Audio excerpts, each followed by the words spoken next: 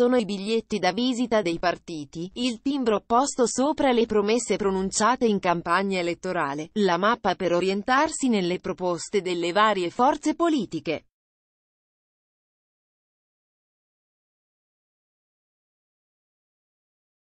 I partiti di centrodestra si preparano ad adempiere a uno degli obblighi previsti dal Rosatellum.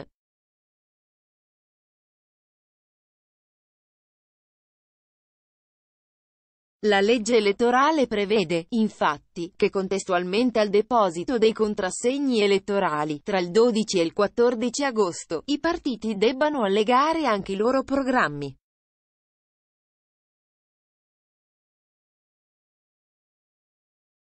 Lega, Fratelli d'Italia e Forza Italia su questo fronte hanno un grado di compatibilità decisamente superiore al centrosinistra tanto più se alla fine il PD si ritroverà in coalizione con Azione di Carlo Calenda.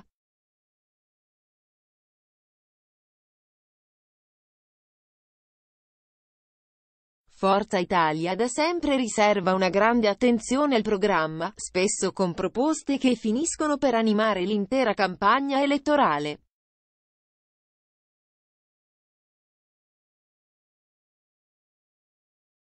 Silvio Berlusconi ha definito avveniristico il documento che si baserà su otto punti chiave, meno tasse, meno burocrazia, meno processi, più sicurezza per i giovani, per gli anziani, per l'ambiente poi la nostra politica estera.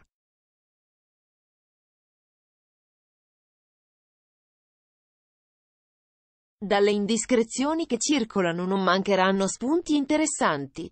Si parla ad esempio di una tassa unica al 23% per famiglie e imprese, con sistemi di deduzione a garanzia della progressività dell'imposta.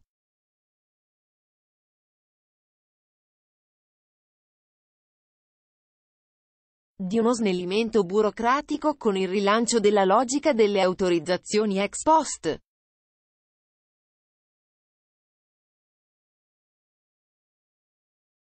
Di un intervento sul processo tributario, soprattutto per quei casi che si trascinano da molti anni.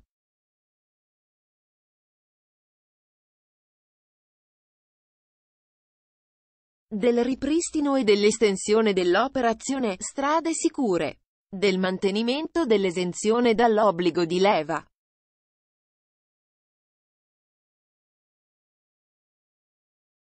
E poi grande attenzione verso le famiglie con l'abbattimento delle rette per gli asili nido pubblici e privati, con un sistema degli acconti e della tassazione delle partite IVA basato anche sul numero dei figli, con una esenzione fiscale di un anno per le coppie che si sposano.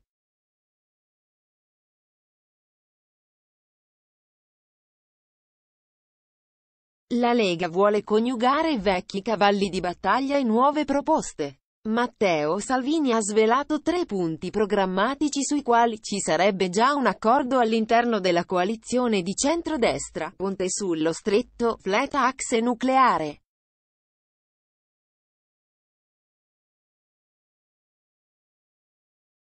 Un altro argomento molto caro a Salvini è quello delle pensioni, con l'azzeramento della legge Fornero ponendo come obiettivo al tempo stesso quota 41.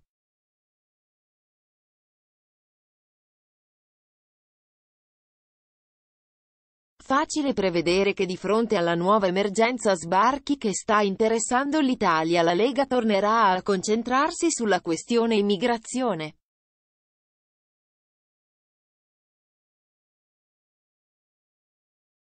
Altro suo cavallo di battaglia è il condono fiscale perché ci sono milioni di italiani che hanno una cartella che rischia di rovinarli.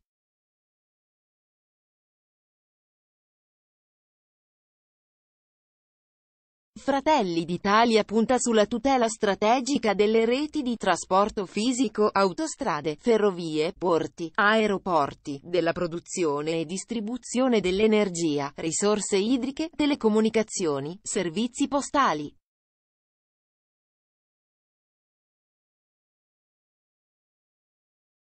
La collaborazione con i privati non è esclusa ma la proprietà deve essere pubblica e subordinata all'interesse nazionale.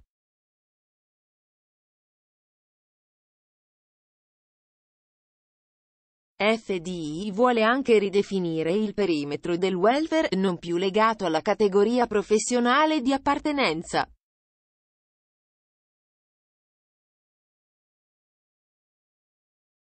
Il tutto aumentando le tutele a favore del mondo del lavoro atipico, del lavoro autonomo e delle partite IVA, istituendo un sistema universale unico di ammortizzatori sociali in sostituzione di quello attuale.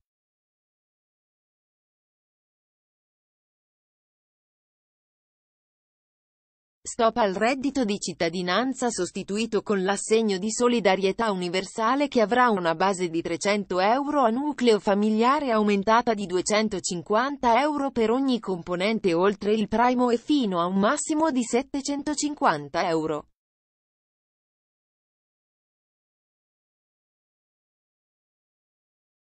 E poi rilancio del ponte sullo stretto di Messina e linea dura contro gli sbarchi, priorità condivisa con la Lega.